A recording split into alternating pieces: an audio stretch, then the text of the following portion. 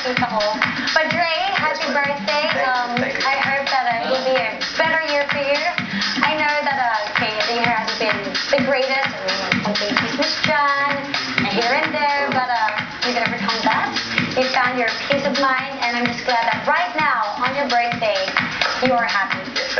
Thank you, partner. Thank you. It means a lot. Although, I wish my, my, my parents are here. Because uh, last year, my mom wasn't here when I celebrated my birthday. This year, wala go when I parents go. So, nagmalungkot. Nagmalungkot. Kasi, natin next time. So, hindi naman. Pati ako nang panasin. Hindi naman. Are they gonna, like, they're not gonna come back? Well, they migrate. That was our deal, plan. But uh, due to some, may mga parang complications. May youngest sister who study there. Pero she has to wait like six months for her sister to Babalik na sila dito. They're gonna be back July 15.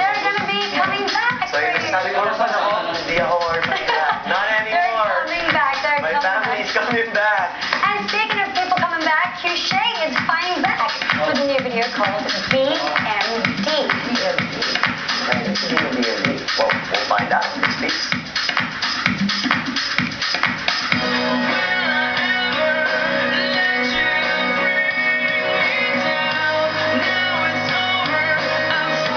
Hi, uh, kami po ang Q-Shake at nandito po kami sa UP Bleach sa Commonwealth shooting our first single sa third album. yes. Hindi siya ng Bring Me Down. Pero BMD lang talaga.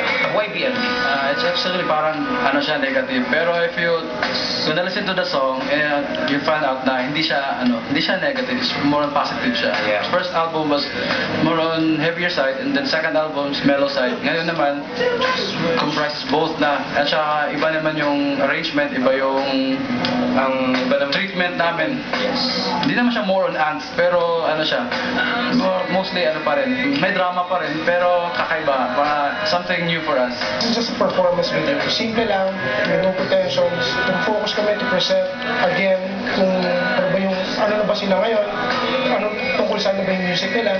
And nagdagdag lang kami ng konting um, challenge for us kasi gusto namin sana magmukhang malamig yung buong feel ng music video. So, magkakaroon ng tipong may usok na lumalabas sa katawan nila, gano'n. May fog na lumalabas sa bibig nila na hopefully magawa namin through CG. It's really nice to work with them again. Kasi kami yung gumawa ng music video nila, yung Stay at Saka. And it's parang okay na rin. Kumbaga comeback for us. Tapos yung with the group naman, naging kaibigan namin sila ever since pumunta sila dito sa Manila. So it's really nice. Cause everybody